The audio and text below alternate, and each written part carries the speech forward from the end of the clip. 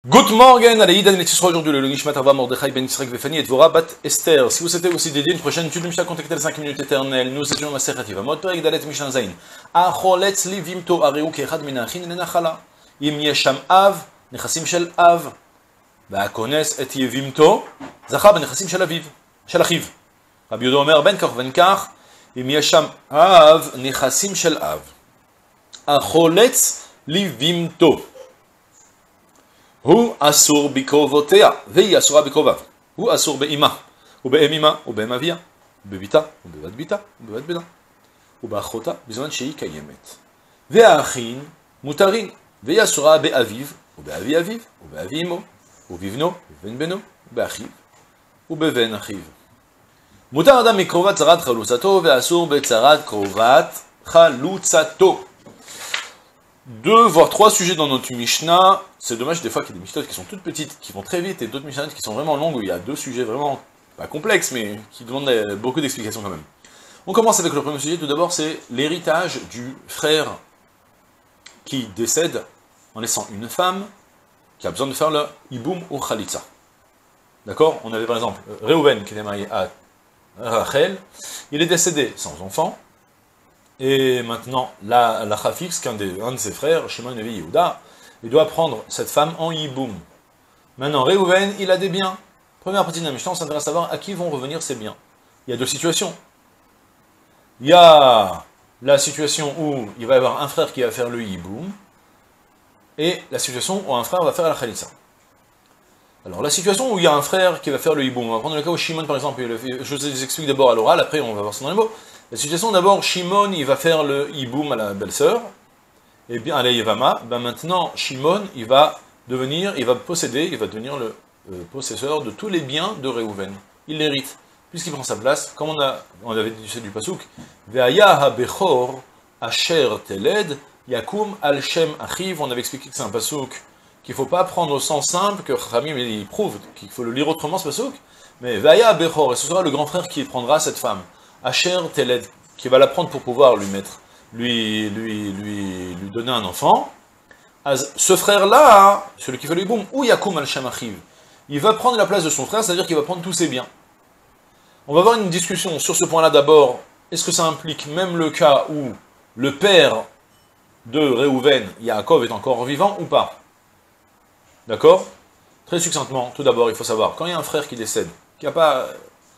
Toute personne qui décède, il y a des ordres, on apprenait ça dans le fin de Baba Batra, il y a des ordres selon lesquels l'héritage va passer.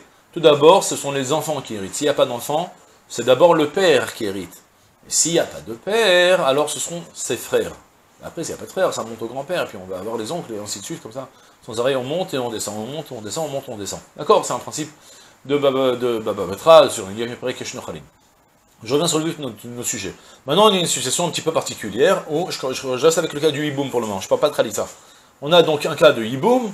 Normalement, la Torah me dit, lorsque le frère va faire le hiboum, il va prendre tout ce qui appartenait à son frère. Et sur ça, Rabbi Yehuda, il va dire, attention, à condition qu'il n'y a pas de père qui est là. Mais s'il y a un père qui est là, si Yaakov est encore vivant, alors c'est, on revient au cas classique où c'est le père qui hérite son fils et pas le frère. D'accord? C'est déduit tout ça de Pasuk, Vaya Bechor, est-ce qu'il faut le comparer à un cas de Yerusha de Bechor ou pas? C'est déduit ça de Psukim. Maintenant, il y a le cas où il y a la Khalitza. Alors la Khalitza, c'est-à-dire que finalement, il va y avoir un frère, Shimon, qui va se dévouer pour dire, allez, c'est moi qui vais lui faire la Khalitza, c'était lui le grand frère, il va faire la Khalitza à cette femme, et bien, dans ce cas-là, l'héritage, la Michal va me rendre que l'héritage, il va se partager entre tous les frères. Le Khidouj la Michal, elle nous dire que même celui qui a fait la Khalitza, on aurait pu croire que cette fois-ci, si tu la prends en femme, tu prends tout, mais si tu la prends pas en femme, tu prends rien. La, Michal va venir en prendre, non, en réalité, tu prends comme tous les autres frères. Et là, de nouveau, là, cette fois-ci, s'il y a un frère, le père est encore présent, d'après tous les avis, ce sera le frère, le père qui va hériter d'abord le fils. Et on fait tout ça dans les mots, regardez, Levimto, celui qui fait le Khalitsa, ça y est, Vama. Donc d'abord, il va l'éloigner, il apprend pas. Il devient comme un de tous ses frères pour son héritage, donc il va hériter son frère, s'il n'y a pas de père. Par contre, Vemi Hasham Av, mais si toutefois il y a un père qui est présent, Yaakov est encore vivant, le père de Reuven, et bien dans ce cas-là, Nechassim Shel Av, les biens euh, reviendront au père, comme tout père qui est prioritaire pour hériter son fils, avant ses autres enfants, avant les frères du défunt. D'accord Ensuite, Akones ativimto, celui qui va maintenant prendre sa femme, sa, sa en hiboum. Zachab anechasim shalachiv, il va devenir possesseur, il va posséder les biens de son frère, c'est lui qui va prendre sa place. Sur ça, Rabbi Omer, Rabbi vient nous dit, ben ou ben kach, av shel av. Que ce soit comme si ou comme ça, que ce soit qu'il ait fait la khalitsa ou que le hiboum, dans tous les cas où il y a un frère, un père qui est présent, c'est le père qui prendra les biens de son fils. Même s'il va faire le hiboum. D'accord? C'est du dieu de psukim. Euh, comme dit le partenaire. C'est lui que la Torah l'appelait le frère qui va faire le hiboum comme le bechor, le grand frère qui a pris la responsabilité de faire le hiboum à sa femme, à sa belle-sœur. Et dans ce cas-là, la Torah l'appelait bechor pour nous faire une allusion aussi que autant que le frère aîné n'hérite une part, une double part, ou peu importe, que s'il n'a pas de père, mais tant qu'il y a un père qui est là, le frère aîné ne prend rien. Alors le même principe aussi. D'accord? Ensuite, deuxième sujet, maintenant on va s'intéresser à savoir, et le cas de Khalitsa. D'abord, on a déjà expliqué que lorsqu'il y a une femme qui est euh, préposée au hiboum, alors d'une certaine manière, elle est une demi-femme. Il y a un certain lien marital, qu'on va dire, un certain rapport de ishut entre entre les frères et cette femme-là. C'est un peu leur femme. Et dire que c'est un peu leur femme, comme on a déjà insisté plusieurs fois, dire que c'est un peu ma femme, ça signifie que si elle a des proches parents, ses proches parents ils deviennent interdits, autant que les proches parents de ma femme sont réellement interdits. La sœur de ma femme, elle m'est interdite, c'est euh, un cas d'inceste. Eh bien, la sœur de ma Yevama, elle me sera aussi interdite. Là, dans notre Mishnah, maintenant, on va s'intéresser à quelque chose de particulier. C'est qu'on a, on va parler qu'il y a maintenant plusieurs frères. Reuven, il est décédé. Il y a Shimon, Lévi et Yehuda. Shimon, Levi et Yehuda, il y a trois frères. Pour le moment, ni Shimon, ni Yehuda ne pourra se marier avec la sœur de Rachel, Léa, qui n'a aucun rapport avec cette histoire. Elle est Rachel, elle était mariée avec Réhouven, elle appartient à une autre sœur, Léa. Pour le moment, tant que Rachel attend qu'on lui fasse le hiboum, on la khalitza, aucun des frères ne peut se marier avec, ni avec, avec Rachel, Vadaï c'est la mitzvah, mais ne, peut, ne pourra pas se marier avec Léa, c'est interdit, c'est la sœur de sa femme, de sa demi-femme, c'est la sœur de sa Yevama. Toutefois, lorsqu'il y en a un des frères qui va décider de lui faire soit le hiboum ou même la khalitza, alors on va considérer que maintenant, il a tout concrétisé, tout ramassé chez lui, maintenant pour que ce soit, c'est lui maintenant qui va continuer la ishut, le lien marital avec cette femme-là, et dans ce cas-là, les autres frères pourront se marier avec les sœurs de Rachel. Donc je reprends le cas. Que ce soit avec Hiboum ou que ce soit avec Khalitsa. Soit, on a maintenant Shimon, Lévi et Yehuda, ils doivent tous les trois faire la Khalitsa à Rachel qui est devant eux, Shimon va décider de faire la Khalitsa, eh bien Lévi ou Yehuda auront le droit de se marier avec Léa. D'accord? Mais peut-on dire que Réhouven, en aucun cas, il ne pourra pas se marier avec Léa. Il ne pourra pas se marier avec Léa. Il ne pourra pas se marier avec la mère de Léa, avec de Rachel. Il ne pourra pas se marier avec la grand-mère de Rachel. Il ne pourra pas se marier avec Rachel, ni avec sa fille, ni avec sa petite-fille, si toutefois elle a des, enfants de par ailleurs. Ok? On fait ça dans les mots. Et on va regarder. Celui qui va la. Lui, il n'a pas le droit de se marier avec tous ses proches parents. Et aussi, idem, Vei Asura Bikrobav, et elle devient aussi interdite avec tous ses proches. Soit, le frère qui a fait la Khalitsa, il avait un fils, ou il avait un petit-fils. Aucun, ni son fils ni son petit-fils, ne pourra se marier avec elle. Parce que maintenant, c'est quelque part la femme du père. Il y a aussi d'autres raisons pourquoi il faut l'interdire, parce que c'est aussi la tante. Et aussi la, la, la, femme du, frère femmes, elle reste tout interdite. On ne va pas rentrer dans ça. D'accord En tout cas, comme ça, la Mishnah insiste. Celui qui fait la khalitsa, lui, il va être interdit dans tous ses proches parents à elle. Vei asura bikrovav, et elle, elle va être interdite à tous ses proches parents à lui. En l'occurrence, hu asur beima, lui, il n'aura plus le droit de se marier avec sa mère. Tandis que son frère, il aura le droit de se marier avec sa mère. Parce que c'est plus sa femme. Ouais, imaginez que j'ai un beau-frère. Euh, j'ai un frère qui a une femme, j'ai pour le moment le droit de me, marier avec sa mère, si sa mère elle est, célibataire, ouais. Il n'y a pas d'interdit. Mais à partir du moment où je vais lui faire la khalitsa, j'aurai plus le droit de me marier avec elle, parce que c'est devenu ma femme. Donc, lui, il va être, lui, celui qui va la khalitsa, Asur Beima, il va être interdit de se marier avec sa mère, ou Be'amima, ou avec la mère de sa mère, ou Be'amavia, ou bien avec la mère de son père. Et idem aussi, ou bébita, ou bébadbita, ou bébadbena, ni avec sa fille, si elle a une fille de par ailleurs, d'un autre mariage précédent, ou bébadbita avec la fille de sa fille, ou avec la fille de son fils. Udem aussi, ou Ba'achota, besoin de ou bien avec sa sœur, tant que la Chalutza est Kayemet. Si elle décède, ça veut rien. C'est-à-dire, au même titre que un homme qui est marié avec une femme, quand sa femme décède, elle doit se marier avec sa belle-sœur, avec la sœur de sa femme. La sœur de la femme, elle est interdite que durant le vivant de sa, euh, de sa femme. Mais dès qu'elle décède, elle doit se marier sa belle-sœur. Même principe. Il a fait la Khalitsa à Rachel. Rachel va ensuite décéder. Euh, Shimon pourra se marier ensuite avec Léa. Ensuite, Ve'achin Motarin, par contre, tous les frères, ils sont permis de se marier avec toutes ces femmes-là. Parce que finalement, comme ils n'ont pas concrétisé la Ishut, ni pour approcher, ni pour éloigner, d'accord Eux, ils, ont, ils, sont restés passifs. Le frère, il a décidé de prendre ça en main. Shimon, il a fait la Khalitsa. Lévi, Yehuda, eux, ils n'ont ils ont pas eu de rapport, aucun contact avec, avec Rachel. Finalement, il s'avérait que ça n'a jamais été leur sœur, leur femme.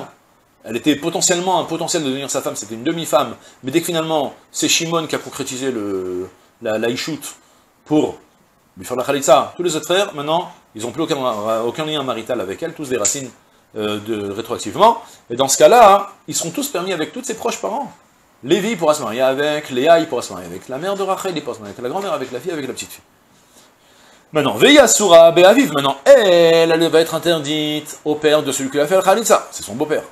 Ou Be'avi Aviv ou Be'avi Mo. Ni avec le grand-père, ni du côté paternel, ni du côté maternel, ou Bivno, ou Ben Beno, ou ni avec son fils, ni avec son petit-fils, et voilà. Be'achiv, ou bien ni par son frère aussi. La Khalitsa n'aura plus le droit de se marier avec Shimon, parce que de toute façon elle était déjà... Euh, D'accord C'était de toute façon sa Khalitsa, et euh, elle était Skoukal et Iboum, et elle n'a pas eu la Khalitsa. Ou Beven arrive aussi avec, ni même avec son neveu, aussi. Ok? Maintenant, ça, ça, provient d'un interdit, du fait que... Bon, on va pas... D'accord, on a compris. Oui Donc maintenant, elle, a fait la Khalitsa, on a... Je reprends le cas. On a Rachel qui a eu la Khalitsa de Shimon, elle pourra plus se marier avec tous les proches de Shimon, en l'occurrence ni avec Lévi, ni avec Yehuda, ni même avec les enfants de Lévi et Yehuda. Parce que les enfants de Lévi et Yehuda, ils ont pas se marier avec leur tante, qui est doublement leur tante, la femme du frère du père, par Reuven le défunt, et par Shimon en plus qui fait la Khamsa. Ensuite, là on a une phrase un petit peu, un code dans la Mishnah qui va être un petit peu délicat pour l'expliquer, et c'est un jeu de mots en fait. Mutar adam mikrovat sarat betzarat kovat chalutzato. Waouh alors on fait ça, regardez comme ça. Mutar Adam Tsarat Un homme a le droit de se marier avec l'approche parent de la coépouse de sa chalutza. Par contre, il n'a pas le droit de se marier avec la coépouse du proche parent de sa chalutza. Bon, c'est rien, faut pas s'affoler. C'est un peu comme les super phrases. On ne peut pas tromper. On peut tromper mille fois une personne, on ne peut pas tromper mille personnes une fois, ou une personne mille fois. Hein. C'est le même principe aussi. C'est un, code en fait, mais c'est très simple. Mutar Adam Bekrovat Tsarat Chalutzato. On parle que, alors quand on a situation j'ai d'abord moi j'ai une chalutza. Alors on va prendre un cas où il y avait, on va prendre un cas de trois femmes, deux qui sont des sœurs et une qui est une étrangère, d'abord moment. Donc on a Rachel et Sarah et Myriam, d'accord? Ou Dvora, allez. Rachel, Sarah et Dvora. Il y a trois femmes. Réhouven, était marié avec Dvora et Rachel. Shimon fait la chalitza à Dvora. Rachel, c'est la tsarat chalutzato. Nachon, Rachel, c'est la coépouse de sa chalutza. C'est la tsarat chalutzato. Puisqu'ils viennent d'une même famille. Et, et Reuven, maintenant, donc maintenant, la Mishnah, va me dire comme ça. Bien, la, la, si toutefois il fait la Khalitsa à Dvora, il pourra bien évidemment, euh, Shimon plutôt, Shimon fait la Khalitsa à Dvora, il pourra évidemment pas se marier avec Rachel, ça, il n'y a pas de question, parce que de toute façon, c'est la, la, la, femme de son frère qui n'a pas, il a pas fait le hiboum, il n'a pas fait la Khalitsa, il peut plus se marier. Par contre, il pourra se marier avec Léa, parce que Léa, c'est la Krovat, Tsarat Chalutzato, c'est la proche parent de la co-épouse de sa Chalutza. D'accord C'est simple, c'est pas compliqué, d'accord S'il faisait la Khalitsa à Rachel, il pourra plus se marier ni avec Léa, ni avec Dvora. Parce que Dvora, bien évidemment, puisque son frère, il a laissé deux femmes, si tu fais pas le hiboum la Khalitsa, tu pourras rien, tu pourras plus jamais te marier avec elle. Mais même pire que ça, puisqu'il a fait la Khalitsa à Rachel, il pourra pas se marier avec Léa. Mais par contre, s'il a fait la Khalitsa à Dvora, alors la sœur de Rachel, elle pourra devenir sa femme. Par contre, ve asur betsarat krovat chalutzato. Alors là, s'il déconcentre, je ne vais pas réussir. Ve asur betsarat krovat chalutzato. Donc j'ai une chalutza qui a une krova. Donc j'ai fait la chalutza à Rachel, qui a, qui a une sœur qui s'appelle Léa. Et si cette Léa, elle est elle a une Sarah, alors je pourrais pas mal avec elle. Ça explique en fait comme ça. J'avais, en fait, il avait, euh, on va prendre Shimon, non, on va prendre Lévi, il avait deux frères qui étaient mariés, un à Rachel et un à Sarah. Ok? Un qui était marié à Rachel et un à Sarah. Celui qui était marié à Rachel, Reuven, il avait, il avait deux femmes. Il avait Rachel et il avait Dvora. Non, excusez-moi. Euh, euh, plutôt, Shimon, il a deux femmes, Dvora et Léa. Le premier qui décède, c'est Réhouven. Donc chez Lévi, il va lui faire la Khalitsa. Donc maintenant, Rachel, c'est devenu la Khaloutsa de Lévi. D'accord? La sœur de Rachel, qui est Léa, qui est la femme de Shimon, elle va lui devenir interdite à cause de Achot Khalutzato, Krovat Khalutzato. Lorsque Shimon décède, Lévi ne pourra pas faire le hiboum ni à Dvora ni à Léa. Parce que Léa, c'est la Achot Chalutzato. En théorie, maintenant, Shimon décède, il devrait, se marier avec elle. Mais puisqu'à l'époque, il a fait la Khalitza à sa sœur déjà Rachel, qui était donc un peu sa femme, il s'avère que maintenant, c'était sa demi-femme. Lorsque maintenant, Lévi se retrouve avec Léa qui lui tombe devant en Yiboum, il peut plus lui faire le Yiboum parce qu'il a déjà été pseudo-marié avec sa sœur Rachel quand il a fait la Khalitza. Et la Tsara, la coépouse, la deuxième, Dvora, eh ben, il ne pourra plus se marier avec, elle non plus, à cause de Midera Banan, c'est considéré comme la Tsaraterva. Puisque maintenant, Léa, elle est considérée comme un peu la proche parent, la sœur de sa femme, eh bien, comme vous connaissez déjà le principe depuis la première Mishnah de Yevamot, la sœur de sa femme, elle interdit aussi les tsarot, les coépouses, d'accord? C'est tout pour aujourd'hui, je souhaite une journée pleine de c'est là.